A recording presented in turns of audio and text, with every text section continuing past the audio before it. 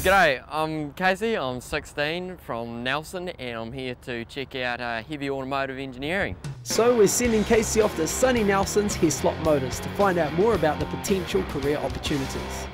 G'day, Casey, how you doing? Good. Mike Shellock, I'm here at Heslop's, the operations manager.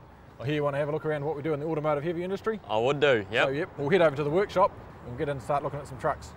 Cool. Right, we'll head this way. Right. Heavy automotive engineering is the service and repair of trucks. Um, trucks are the mainstay of our economy. They move majority of the freight around. So we, we do all the servicing and repairs on, on heavy trucks. And there's also machinery involved in that as well. There's um, we have loaders, excavators, forklifts, etc. Mike begins by showing Casey through a pre-certificate of fitness check. So the first thing we're going to do, we're going to check around the outside of the cab of the vehicle, check all the lights and the wipers and the horn, etc. So I'll hop back in the truck and work the controls and I'll holler out to you and you can tell me what's going on. Sounds good. Okay. All right.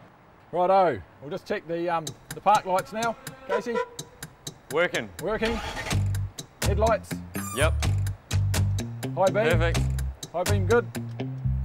And we'll try the uh, wipers. Definitely going. Going all right. And the washers, Oh yeah.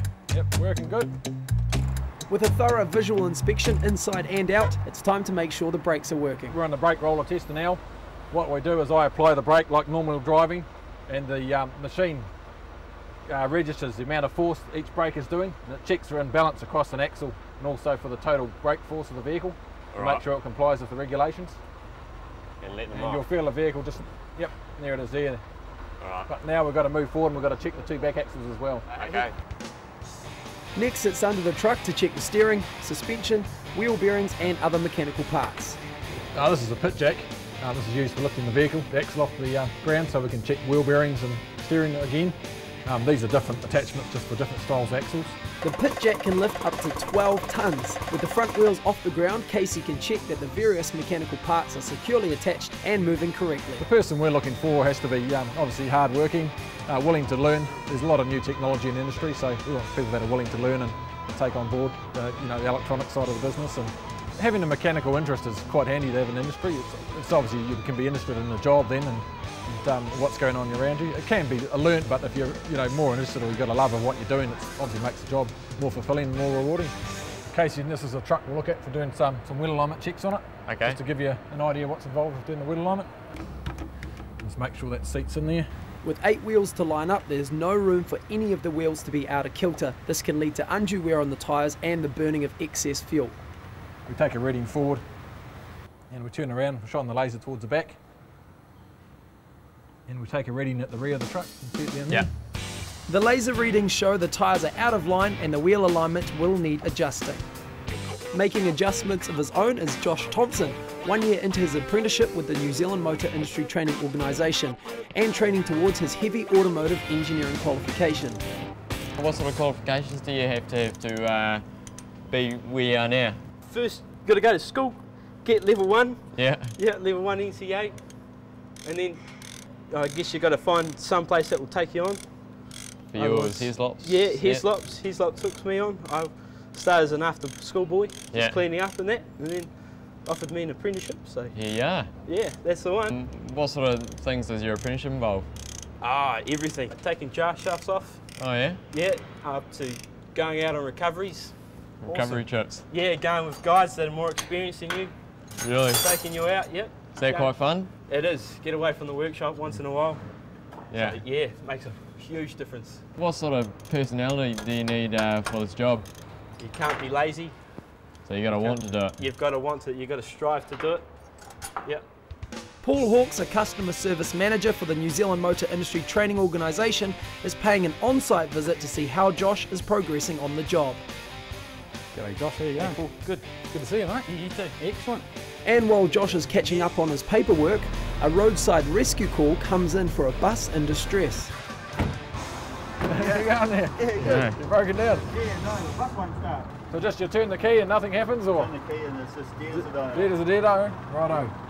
We better have a look at the um, wiring down to the starter motor, mate. I'll just show you where that is. Righto, Casey, it looks like the, um, the starter motor cable onto the starter's loose. We need to grab a spanner, 17mm spanner, and tighten it up. There's more probably time pressure because the truck needs to be kept out on the road, it needs to be kept mobile, it can only make money where it's mobile. So the operators obviously don't like the vehicle being off the road for extended periods of time. Right, we'll give it a shot, see if she starts.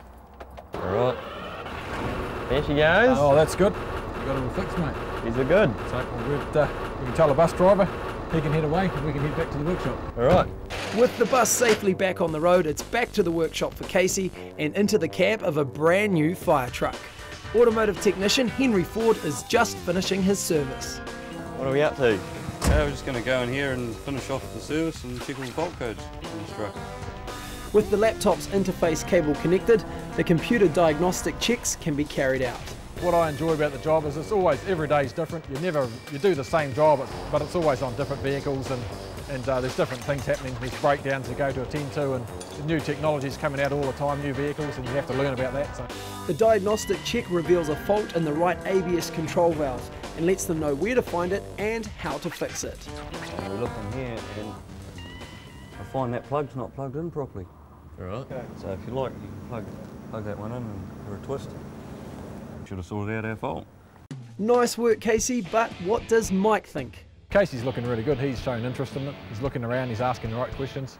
He seems very interested in what's happening and keen, so they're the sort of people we're looking for. Oh, it was fantastic. It was a great experience and uh, really looking forward to taking it further. It's um, been good. It's where I want to head, so anything I can get now is going to benefit in the future. A national certificate in automotive heavy engineering level 4 typically takes 3 to 4 years of on-the-job training to complete in conjunction with the New Zealand Motor Industry Training Organisation. The secondary school training program Startup provides a pathway into the industry. Useful subjects to study include English, mathematics, physics, technology and computer studies. The demand for automotive heavy engineers is likely to increase due to the growing number of heavy vehicles registered on our roads.